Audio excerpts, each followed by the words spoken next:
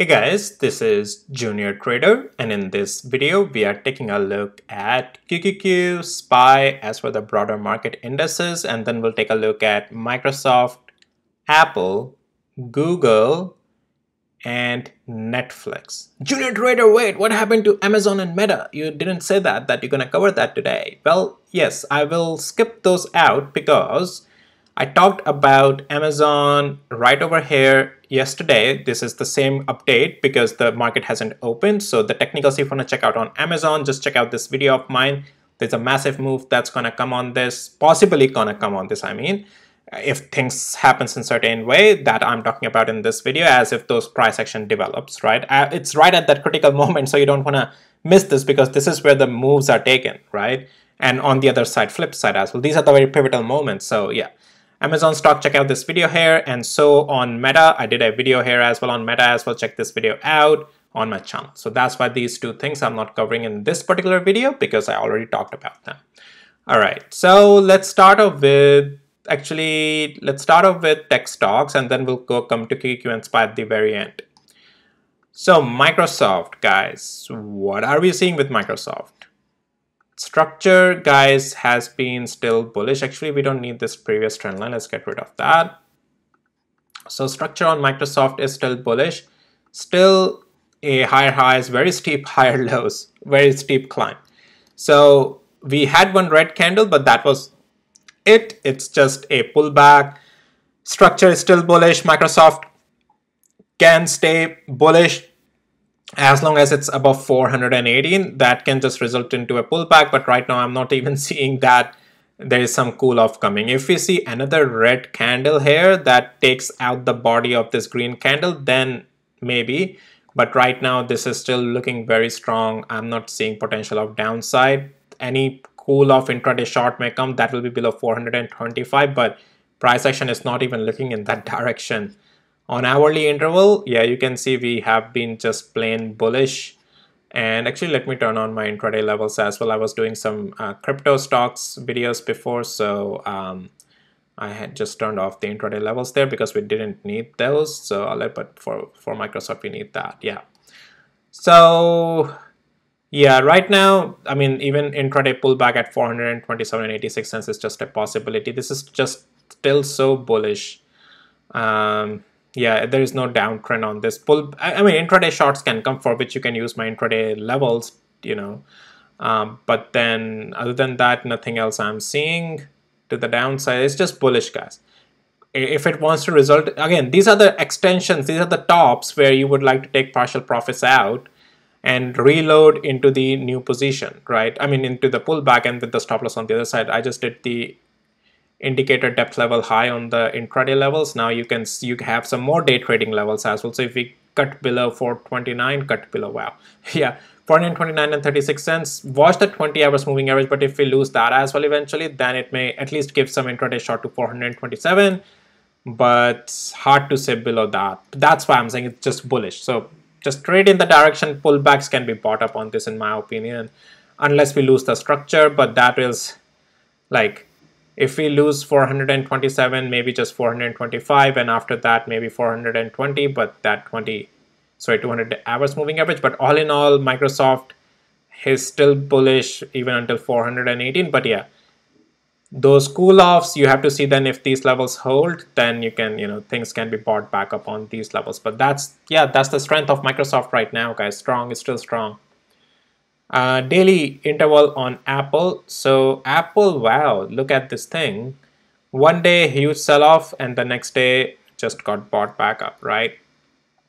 Uh, so yeah, still hanging around. It's not bearish. That's what I was saying that, you know, if we lose this level like 189 and 98 cents, some cool off may come. We got that cool off, but 20 hours, sorry, 20 days moving average, I would still expect it provided that support. We pretty much found support at one of our level 186 and 66 cents due to this previous recent pivot, right? And this is what we were also talking about. And uh, yeah, that was the area of potentially a price reaction and we got that. Technically, Apple is still in an uptrend, all in all in the structure. Um, yeah, that's that. Again, trade with the trend. Pullbacks on this are a buy still. It's not looking the downside game. Structure is still holding on Apple And yeah, that was it. That was it. And now at this point here, pullbacks until 20 and 200 hours moving average are still a buy. Again, pull buy into the pullbacks, have a stop loss on the other side. Price action is still in the bullish direction right now. If we start to lose eventually 220 hours moving average, then swing short may also develop. But right now, I'm just not seeing structure for that. All right, and again, trade level by level stop loss on the other side. If pullbacks fails and it starts to turn, that's the thing. Let's say pullback comes and you buy at these levels with the stop loss on the other side and it starts to go up, that's great. But then keep watching the levels, uh, price action at these significant levels because if you start to see again resistance happening here, that may turn into a double top as well. So take partial profits out there and then see if it continues high with the rest of the position. If it starts to come lower and breaks the structure, and you already know how to see the structures I have been teaching for so long in my all the videos, right? And um, yeah, then get out fully, right? Once the structure breaks. So that's that. That's your Apple. Let's take a look at, but yeah, all in all structure on daily is still bullish, guys. Uh, Google. So Google trying to cool off a little bit, but still holding strong. Uh, there is no sign of downside right now. Um, if we lose 20 days moving average, there is a cool off chance that may come again to 163. That's something can be looked into this, but nothing other than that right now. Right now, I uh, not I am bullish. That's funny. Uh, the stock price is still bullish.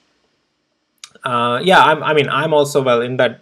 What the price action is telling me is that's what pretty much I'm in going to be, you know, uh, telling as well that that's what my sentiment is because that's what price action is and then I'm providing the level if any breakup structure happens. With Google, you can also try to follow along this trend line. So um, let's say if Google struggles to get out of this trend line, technically this is the area that if Google gets out of this trend line with the support at 175.71 cents, it can continue another leg up higher. Um, but if it loses again 175.71 cents, this may come down again to 173 that's why we, you have to see the price action and you have to see wait and watch the break of 20 hours moving average as well. If that happens, then yeah, it may come down to 172 and 95 cents. Then you are seeing if 200 hours moving average holds or not. But yeah, so still, yeah, the pullback has been coming. That's fine, but that's just a pullback right now on daily interval. Intraday, yes, these are just a pullbacks, but structure has not fully turned bearish in my opinion. Yeah the junior trader. What are you saying? I'm you are i'm seeing downtrend lower highs lower lows. Yes those are intraday short plays but all in all swing structure is still bullish as i just showed you on the daily interval.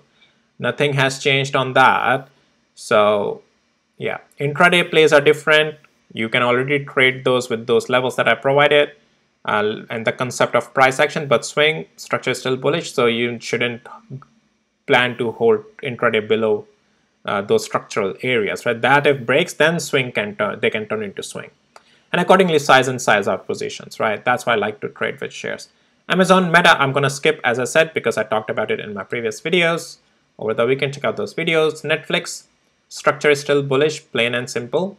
Uh, the structure on this is still bullish even if it comes down to 624. I mean, yeah, this thing can stay up here, guys, for quite some time. 50 and 20 days moving average will take their time to catch up. And yeah, these things may stay up here for quite some time. Pullback on these can be bought back up in my opinion. And um, yeah, they have a lot of room to stay still, still bullish. Just my opinion though, okay? Cool, that's, that's Netflix. And all right, what we have with, oh yes, QQQ and SPY. Let's go over there now. All right, I talked about guys, this one red candle is not going to change anything. That sell off that came, right? I said that it's just a pullback, cool off, you know, nothing else. Structure is still bullish. QQQ is still bullish.